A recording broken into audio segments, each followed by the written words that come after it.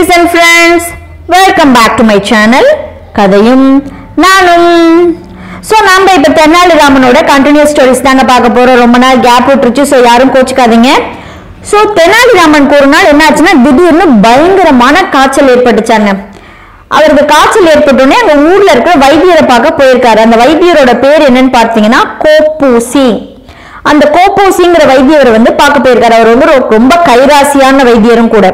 ஆனால் வந்து அவருக்கு கொஞ்சம் பொருள் ஆசை ரொம்ப அதிகமாகவே இருந்துச்சாம்.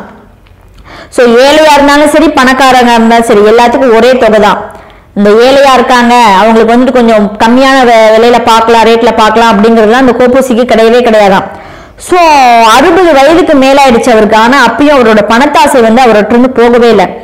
தென்னாலிராமன் வந்து அரசு சபையில விகடகவியா இருக்கிறதுனால அவருக்கு ஏகப்பட்ட சன்மானம் கிடைக்கும் அப்படின்னு சொல்லி இது பண்ணிட்டு என்ன பண்றாரு? இந்த கோப்பூசி இவர்கிட்ட இருந்து நிறைய கறந்துடலாம் அப்படிங்கிற ஒரு பிளானோட வராரு. திடீர்னு காய்ச்சல் குறையுது திடீர்னு காய்ச்சல் ஏறுது. ஸோ என்னாச்சு? ஒரு நாள் காய்ச்சல் சரியா போயிடுச்சு. ஸோ வைத்தியர்கிட்ட வந்துட்டு பணம் எவ்வளோங்க வேணும்னு சொல்லி கேட்கும்போது அவர் சொன்னாரு இருநூறு பணம் அப்படின்னாரு. இருநூறு பணம்ங்கிறது அந்த காலத்துல பெரிய பணங்க. அப்போ வந்து வெறும் காய்ச்சலுக்கு இவ்வளவு பணமா அப்படின்னு கேட்கும்போது உங்களுக்கு வந்து அது வெறும் காய்ச்சல் கிடையாதுங்க கடும் காய்ச்சல். இதை தீர்க்க நான் படாத பாடு பட்டுட்டேன். உங்களுக்காக மருந்து தயாரிக்க எனக்கு பயங்கரமா செலவாயிடுச்சு.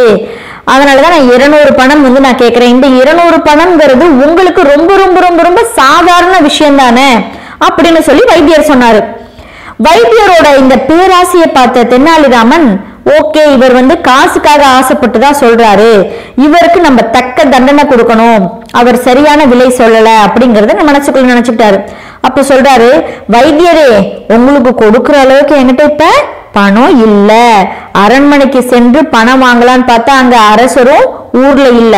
அதனால என்ன பண்ணுங்க என்கிட்ட வந்துட்டு ஒரு பழைய அரேபிய குதிரை இருக்கு. அதை சந்தையில் விற்றோம்னா ஒரு முந்நூறு ரூபாய் கிடைக்கும். அதை விற்று உங்களுக்கு நான் தரேன் அப்படின்னு சொல்லும் போது வைத்தியர் ஒத்துக்கிட்டாரு. Okay okay. நான் அவர் வந்து வைத்தியர் ஒன்று என்ன சொல்லிட்டாரு? எனக்கு குதிரை விற்கிற பணத்தை முழுசா தந்தரணும். குதிரை எவ்வளோக்கு போகுதோ அந்த காசை எனக்கு முழுசா தந்தரணும்னு சொல்றாரு. தென்னாலிராமனும் குதிரையை நான் எவ்வளோக்கு விற்கிறனோ அந்த பணம் உங்களுக்கு முழுசா தந்துடுறேன் அப்படின்னு சொல்றாரு. நாளை மறுநாள் அதாவது அடுத்த நாள் ஒரு ரெண்டு நாள் கழிச்சு சந்தை கூடுச்சு. சந்தை கூடும் போது கோப்பூசி கிளம்பி வந்துட்டார். வேக வேகமாக தென்னாலிராமன் வீட்டுக்கு வந்துட்டார். வாங்க வாங்க சந்தைக்கு போகலாம் அப்படின்னோடனே முந்நூறு பணம் வரப்போகுது. பரவாயில்ல. நம்ம வந்து ஒரு நாள் காத்திருக்கிறதுல வந்து த- இத்தனை நாள் காத்திருந்ததுல தப்பே கிடையாது அப்படின்னு சொல்லிட்டு தென்னாலிராமனை கூப்பிட்டு போகலான்னு வந்தார். கூப்பிட்டு வந்தா அவர் கையில தென்னாலிராமன் ஒரு பூனைக்குட்டியை தூக்கிக்கிட்டாரு. பூனைக்குட்டி ஒரு கையில அரேபிய குதிரை ஒரு கையில தூக்கிட்டு வராரு. போக்கி கோப்பூசி நினைச்சுக்கிட்டாரு. சரி பூனைக்குட்டி எதுக்கோ கூட்டிட்டு வராங்க. பூனைக்குட்டி விற்க போறாங்களாட்டு இருக்கு அவருக்கு செலவுக்கு வேணுமாட்டிருக்கு. அப்படின்னு நினைச்சிட்டு கோப்பூசி நினைச்சிட்டு விட்டுறாரு சந்தைக்கு போன உடனே என்ன பண்றாரு? தென்னாலிராமன் நடு இதுல மேல ஏறி நின்னுகிட்டு மகாஜனங்களே அப்படின்னு சொல்லிட்டு தென்னாலிராமன் எல்லாத்தையும் குரல் கொடுத்து கூப்பிடுறாரு. விகடகவி மன்னராச்சே இவரு. சோ அதனால ஜனங்கள் எல்லாம் இவர் கூப்பிட்ட உடனே இவர் பக்கத்துல போய் நிக்கிறாங்க. மக்களை பார்த்து அவர் வந்துட்டு ஒரு சொல்றாரு மக்களை நீங்கள் ஒன்று வாங்கினால் ஒன்று இலவசம் அப்படிங்கிறாரு. என்னையா புதிர் போடுறாரு இவரு?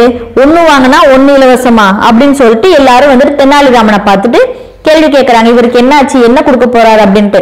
அப்ப சொல்றாரு இந்த மாபெரும் அரேபிய குதிரையின் விலை மிக மிக மலிவு. இதோ இந்த பூனை மிக அற்புதமானது. இதை வீட்டில் வச்சிருந்தீங்கன்னா சகல சௌபாகியங்களும் கிடைக்கும். இந்த பூனையோட விலை முன்னூறு பணம். குதிரை வெறும் ஒரே ஒரு பணம் மட்டும்தான்.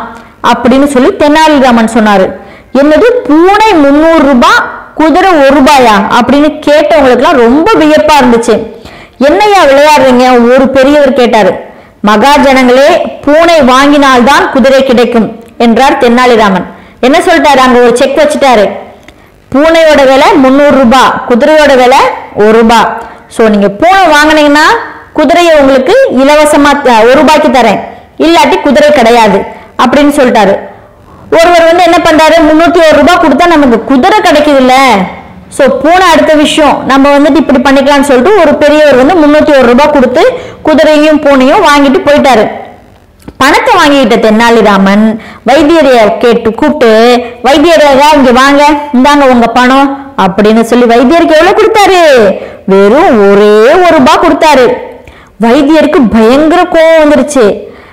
என்னையா நினச்சிட்டு இருக்க நீ ஒரு பணத்தை தரீங்க. நான் இருநூறு ரூபாய் கேட்டேன் அப்படின்னு சொல்லி பயங்கர கோபத்தோடு கேட்குறாரு கிண்டலும் இல்லை கேலியும் இல்லை வண்டலும் இல்லை வைத்தியமும் இல்லை. குதிரை வித்து எவ்வளவோ அதை தான் தரணும்னு சொல்லி கேட்டீங்க. நான் குதிரை வித்தது வெறும் ஒரு ரூபாய்க்கு. அதை தான் இப்போ நான் உங்களுக்கு தரேன். இந்தாங்க வச்சுக்கோங்க அப்படின்னு கேட்டாரு. இல்லையா இது வேணாமா? வாங்க வழக்கு போடுங்க. வழக்கு வந்து நம்ம கோர்ட்டில் சந்திக்கலாம். மன்னர் போய் எதா இருந்தாலும் பேசிக்கலாம். அப்படின்னோடனே கோப்பூசிக்கு என்னாச்சு? ஐயையோ நம்ம கேட்டது இருநூறு ரூபாய் அதிகமான பணம். வழக்குக்கு போனோம்னா நமக்கு தான் தண்டனை கிடைக்கும். இந்த ஒரு ரூபாய் கிடைக்கிறதே பெரிய விஷயம் தான் நமக்கு. பேராசைப்பட்டதுக்கு என்னாச்சு? நமக்கு பெரும் நஷ்டமா வந்து சேர்ந்துருச்சு. இந்த பணத்தையும் விட்டுட்டோம்னா இதுவும் நமக்கு கிடைக்காது. ஒரு ரூபாயாச்சும் மிச்சம் கிடைக்குதே அப்படின்னு சொல்லி என்ன நினைச்சுக்கிட்டாரு? தலையில அடிச்சுக்கிட்டு வேற வழியே இல்ல சாமின்னு சொல்லிட்டு அந்த ஒரு ரூபாயை வாங்கிட்டு வாயை மூடிட்டு போய்க்கிட்டே இருந்தாரு. ஸோ எப்பயுமே ஃப்ரெண்ட்ஸ் நம்ம பேராசைப்பட்டோம்னா என்ன ஆகும்? அந்த இடத்துல கண்டிப்பா பெரும் நஷ்டமா தான் இருக்கும். ஸோ தென்னாலிராமன் ஒவ்வொரு தடவையும் அவரோட புத்திசாலித்தனத்தால எல்லா காரியங்களையும் ரொம்ப அழகா செஞ்சுக்கிட்டு இருக்காரு. ஸோ அதுக்கப்புறம் என்ன ஆச்சு ஏதாச்சுன்னு தெரிஞ்சுக்கணும்னா இந்த சேனலை நீங்க லைக் பண்ணுங்க ஷேர் பண்ணுங்க.